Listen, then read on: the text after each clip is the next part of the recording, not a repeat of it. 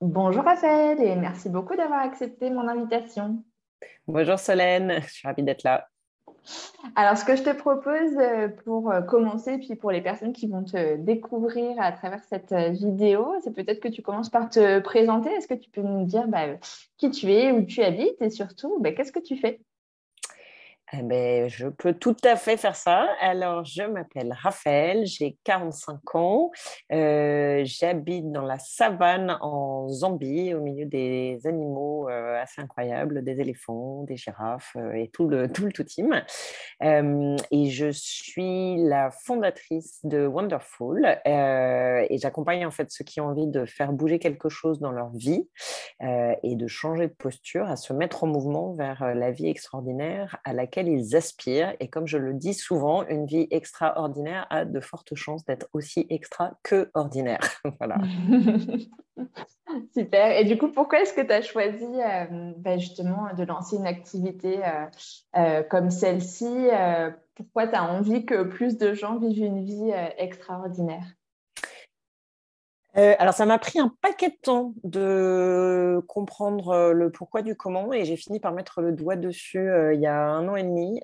en fait, j'ai une maman très dépressive qui a été toute sa vie dans une posture où elle a subi sa vie plus qu'elle ne l'a choisie et où les médecins n'ont pas réussi à la sortir de ça beaucoup. et du coup, elle a été dans une position que j'appelle de victime un petit peu. Et alors, je ne sais pas si elle s'est complue là-dedans parce que je ne pense pas qu'il y ait beaucoup de complaisance malheureusement.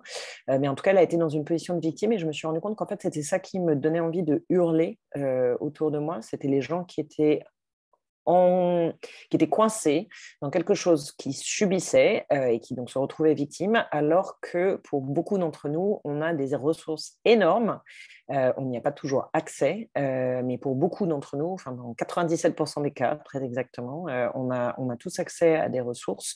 la question, c'est d'avoir la confiance en soi pour les, les, les, toucher, l'énergie, l'envie, être bien accompagné, etc., etc. Et en fait, je me suis dit que si je pouvais aider autant de personnes possibles dans le monde à ne pas se retrouver coincées dans une vie subie, mais être plutôt acteur d'une vie choisie, euh, eh bien, ça rendrait des gens plus heureux avec eux-mêmes, plus heureux avec les autres, plus heureux avec le monde et capables du coup d'amplifier, d'aller déposer leur message à eux dans le monde euh, là où ils le doivent.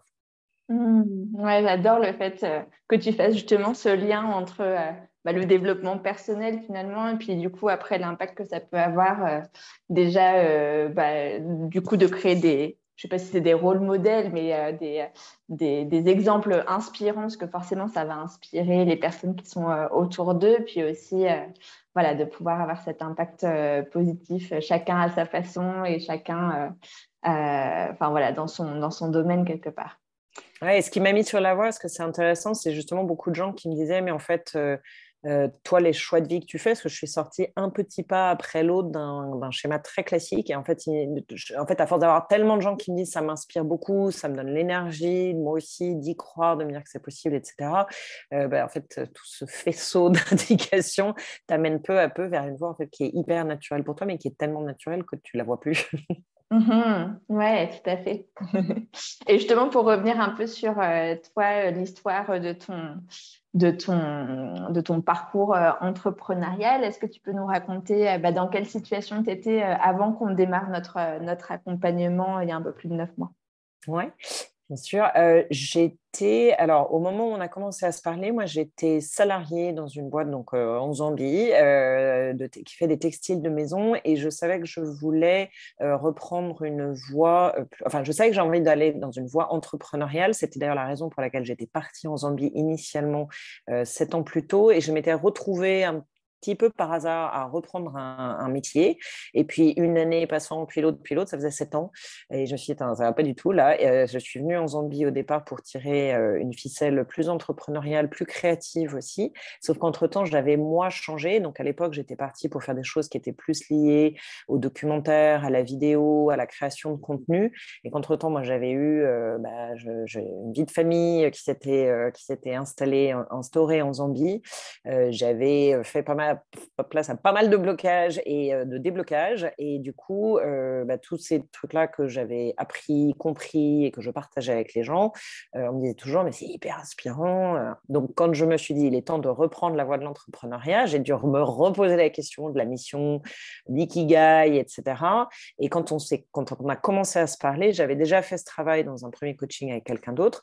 je savais quel produit j'avais envie de développer en premier, mais je n'avais que deux jours par semaine pour le faire parce que j'étais salariée. mon objectif, c'était à la fin de notre accompagnement que je sois, que j'ai quitté mon travail, que je l'ai bien quitté et que j'ai lancé en parallèle mon activité. Et donc, neuf mois plus tard, force est de constater que j'ai quitté mon travail, j'ai lancé mon activité, euh, j'ai créé ma première offre, j'ai le fait, je l'ai testée et là, je la relance euh, pour la seconde fois. Voilà, mmh c'est une formation de groupe. Oui, et tu vas revenir, tu vas pouvoir tout nous, expliquer euh, de là où tu en es euh, de, ton activité, puis des résultats du coup euh, que tu as obtenus. mais si on se replonge dans justement ce moment où on s'est rencontrés, qu'est-ce que tu espérais Quelles étaient tes attentes? Enfin, tu vois, tu nous disais j'avais deux jours par semaine en parallèle de mon travail salarié. Du coup, qu'est-ce que tu attendais en fait de, l'accompagnement Parce que tu avais déjà entrepris par le, par le passé, tu avais déjà été accompagné. Du coup, qu'est-ce quelles étaient tes attentes?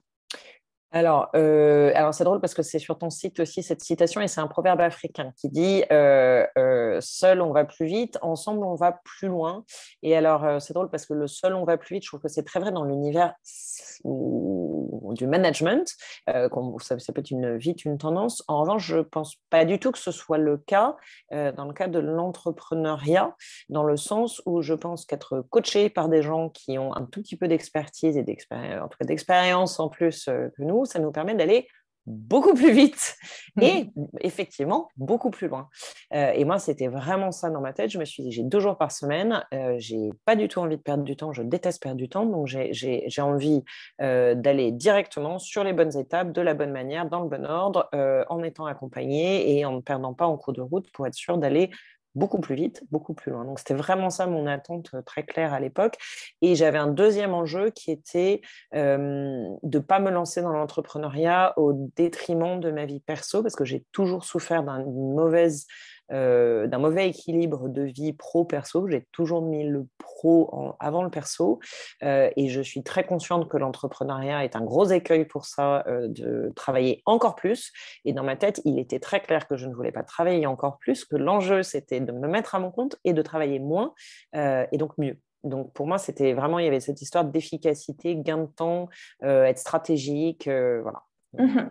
Et qu'est-ce qui t'a donné envie de, travailler avec moi en particulier, à part la citation sur le site internet avec laquelle tu n'es pas d'accord? Si, je, suis d'accord, mais dans, un contexte en particulier. Euh, euh, en fait, je t'avais entendu, alors je ne sais plus comment je me suis retrouvée à suivre ta newsletter et de fil en aiguille, euh, quand tu as lancé le premier sommet entrepreneuriat écoféministe, je m'y suis inscrite et, euh, et, pour être honnête, j'étais dans le fond de ma savane, là. il y a la nuit, il faisait noir, euh, il y a des moustiques partout. Et franchement, pour me maintenir euh, en dehors de la moustiquaire à Surcy, il fallait que ce soit intéressant. Et même sur des sujets en fait, que je connaissais parfois bien ou un petit peu bien, j'ai appris plein de choses parce que le choix de tes intervenantes, j'ai trouvé, était super. Et parce que tes interventions à toi amenaient toujours je trouvais justement cette, ce petit pas de côté. Il y avait toujours une injection, une injonction, euh, pas une injonction, pardon, au contraire, une injection euh, différente de tout ce que j'avais pu entendre. Ça m'amenait toujours à, une réflexion un peu plus bienveillante, euh, un peu plus stratégique, un peu plus globale, avec de l'impact, etc. Et je sais pas, en fait, j'ai vraiment trouvé à chaque fois que tu intervenais que tu m'apportais un éclairage différent de ce que j'avais pu entendre ailleurs, et j'ai trouvé ça super et quand j'ai reçu un jour ton mail proposant un accompagnement euh, pour les gens qui lançaient leur activité, je me suis dit, eh ben, banco, c'est parti. Et du coup, comment est-ce que tu as pris cette décision euh, d'investissement? Tu dis banco, c'est parti. Est-ce que, euh, enfin voilà, comment est-ce que tu t'es décidé à, investir de l'argent dans cette activité alors même que bah, tu n'avais pas encore gagné d'argent avec? Donc, enfin voilà, comment est-ce que tu as pris cette décision? Euh, bah, C'était une décision lourde hein, parce que moi, je gagne euh, pas beaucoup ma vie depuis 15-20 euh, ans. J'ai toujours bossé dans l'entrepreneuriat social. Et donc, c'était un, investissement lourd. En revanche, c'est un investissement dont je, enfin, je suis absolument convaincue euh, que se faire coacher quand on est entrepreneur et particulièrement solopreneur, c'est hyper nécessaire. Euh, et, que et investir sur soi, c'est euh, fondamental. Enfin, on n'a pas d'investissement à faire autre que sur soi, donc ça devrait être obligatoire. donc, pour moi, c'était une évidence. Après, c'était un, c'était, un investissement lourd pour moi, mais j'étais vraiment convaincue de la valeur de ce que tu allais m'apporter. Alors, je t'ai posé des tonnes de questions et tu as pris le temps de répondre à chacune de mes questions. Et franchement, je te remercie parce que j'en ai pas posé un paquet euh, par écrit. Euh, et ce qui m'a convaincue vraiment, c'est ça c'était cette envie d'aller euh, plus, plus vite, plus loin. Et, et, le fait. Non, alors il y a un autre truc qui m'a convaincue, je pense, c'est que j'ai acheté j'avais fait un coaching de groupe déjà à distance euh, dans les deux années qui avaient précédé. J'avais vraiment vu la valeur d'avoir euh, quelqu'un qui nous accompagne et d'avoir une communauté de gens qui sont dans la même problématique que nous qui accompagnent. Euh, donc ça, ça avait été mon gros, ma grosse épiphanie à l'époque. Je me suis dit, mais c'est dingue ce qu'on peut apprendre des autres et notamment de, quand les autres se font coacher et que tu écoutes, c'est incroyable comme tu entends beaucoup mieux les messages que quand c'est pour toi-même. D'un coup, il n'y a pas le petit blocage psychologique de euh, mais non, j'ai déjà essayé, ça ne marche pas. Euh, donc, euh, non, non, donc, je pense que ça m'a aidé aussi à franchir ce cap-là parce que j'étais déjà convaincue vraiment des bénéfices. Mhm. super. Et merci pour, pour, ton, pour ton partage parce que je pense que c'est hyper important de, de, comprendre comment les autres prennent leurs décisions d'investissement parce que parfois on a de la culpabilité à ces sujets-là. Donc, euh, je pense que c'est important de libérer la parole aussi là-dessus, puis que les femmes s'autorisent à investir en elles-mêmes et en leurs projets et en, leur, et leurs idées.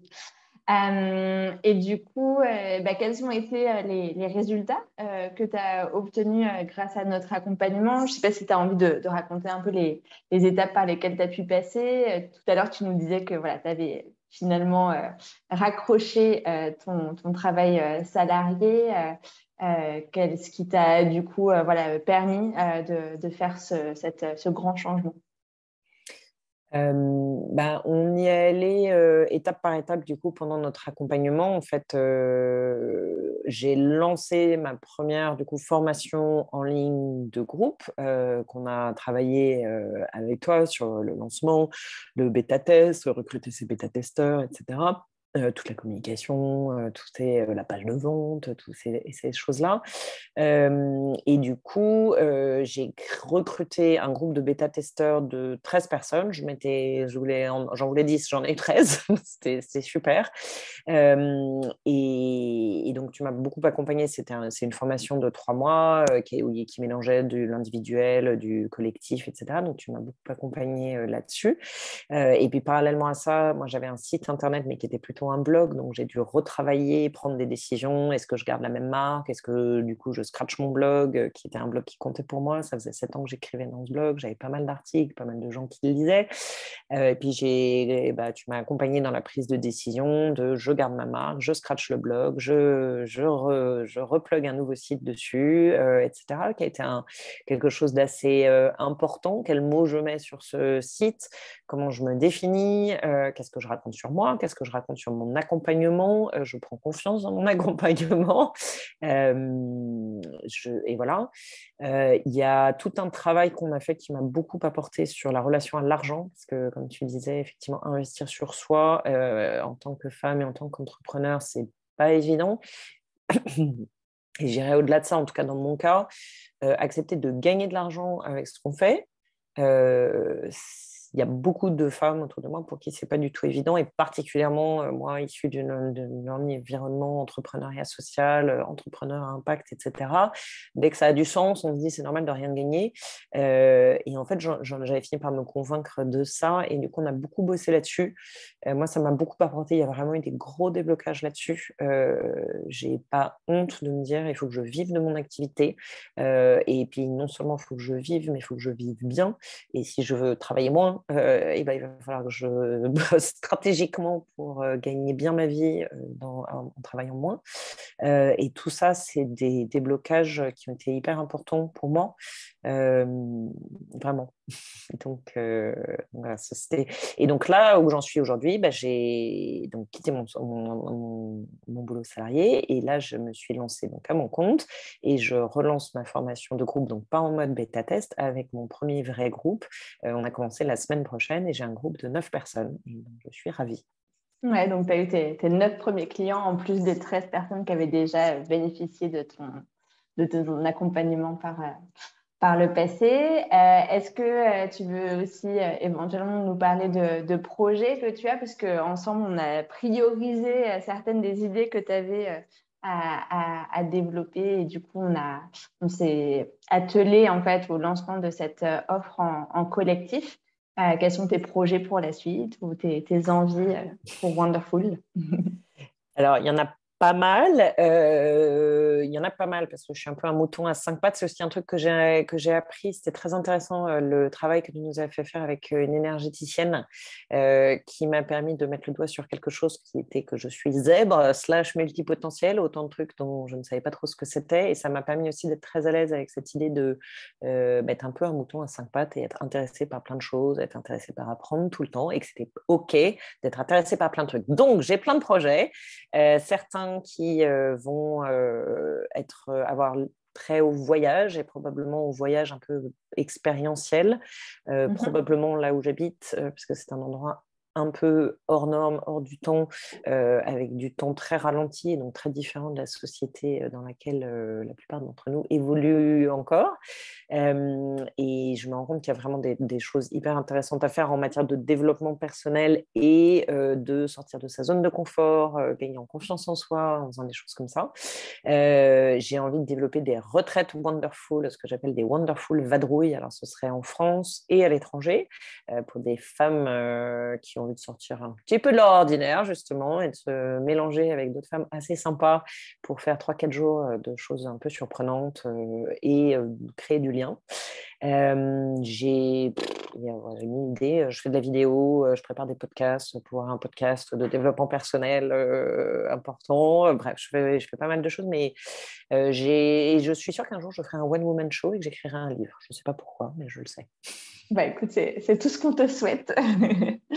quel, euh, quel, a été le plus grand changement que tu as vécu euh, au cours de notre accompagnement, si tu devais en, choisir un Alors, j'en ai déjà dit un, donc ça va, je vais pouvoir en choisir un autre. Donc, il y en a un qui était le rapport à l'argent. Le deuxième, je crois que c'est vraiment euh, le lien au perfectionnisme euh, et le fait d'apprendre en marchant et de surtout euh, pas graver les choses dans le, marbre au moment où tu les lances. En fait, l'idée du bêta-test, c'est justement de se lancer sans être prêt et d'apprendre et d'être capable, du coup, d'être flexible avec les, les remontées des uns et des autres. Euh, et du coup, quand j'ai lancé mon programme de formation, concrètement, j'avais deux semaines de contenu d'avance et puis j'ai créé au fil de l'eau avec un temps très limité et ça m'a obligé à lâcher le perfectionnisme euh, et à aller vite et à le faire euh, pourtant, pourtant bien. Et ça, c'était un super, super conseil. et de fait, je me l'applique beaucoup maintenant. donc, je me lâche pas mal la grappe et ça fait beaucoup de bien. Mmh, super. Qu'est-ce que tu dirais aux personnes qui, euh, qui regardent ton témoignage aujourd'hui et qui hésitent euh, à se faire accompagner, que ce soit d'ailleurs par moi ou par, euh, ou par quelqu'un d'autre et bah, qui sont peut-être dans la même situation mmh. dans laquelle tu étais, donc ils ont une idée plus ou moins mmh. claire et puis ils hésitent à se lancer. Moi, franchement, j'ai envie de dire, mais foncez parce qu'en fait, c'est libératoire, c'est joyeux, c'est clair, c'est structuré. En fait, ça, ça t'aide vraiment à, euh, avancer pas à pas, euh, garder la foi, euh, te remonter, c'est vraiment c'est le, truc sur lequel il faut pas du tout hésiter. Et j'ai toujours entendu des coachs se faire coacher et expliquer les bénéfices du coaching. Donc c'est pour moi absolument évident et c'est aussi une évidence que je le ferai toute ma vie parce qu'on est on a perpétuellement besoin d'apprendre et besoin d'un retour extérieur, etc. Donc c'est nécessaire. Est-ce que tu as un dernier mot à rajouter, quelque chose qu'on n'aurait pas évoqué, euh, qui te semble important de, mentionner? Euh, Je ne crois pas. Non, mais si, faites-le, faites-le, faites-le, faites-le. c'est pas mais non, faites-le. C'est euh, non, c'est super. Bah, merci surtout, merci à toi parce que j'ai passé neuf mois géniaux. J'ai beaucoup appris et j'ai encore plein plein de choses à apprendre que je n'ai même pas eu le temps de regarder pendant notre accompagnement. Ouais, tu repars avec ta boîte à outils euh, et puis euh, la confiance pour avancer. Mais écoute, euh, en tout cas, moi, ça a été un vrai plaisir de, travailler avec toi.